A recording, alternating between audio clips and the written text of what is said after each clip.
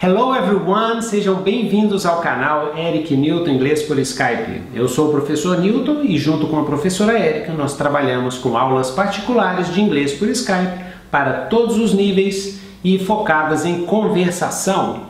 E hoje nós vamos ver mais uma dica de inglês para você aprender e praticar. Are you ready? So, let's go!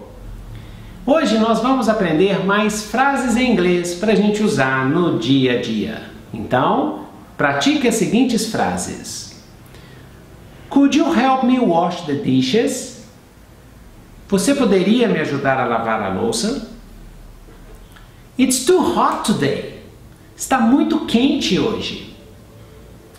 Would you like to come over and play some video game?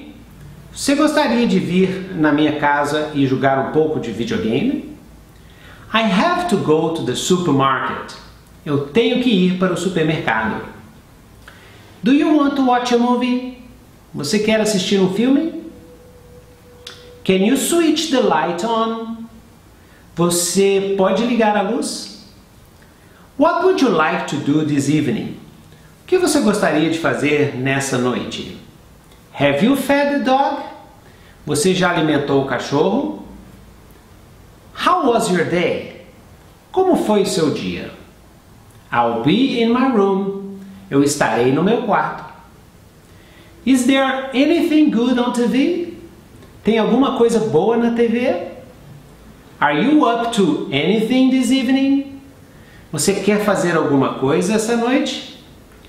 Do you want to order something to eat? Você quer pedir alguma coisa para comer? Let's eat out tonight. Vamos comer fora hoje à noite. What would you like for dinner? O que você gostaria para o jantar? I'm taking a shower and I'm going to bed. Isso, eu vou tomar o um banho e ir para a cama. I have to wake up at seven. Eu tenho que acordar às sete horas. I'm too tired. Estou muito cansado. I'm going to bed.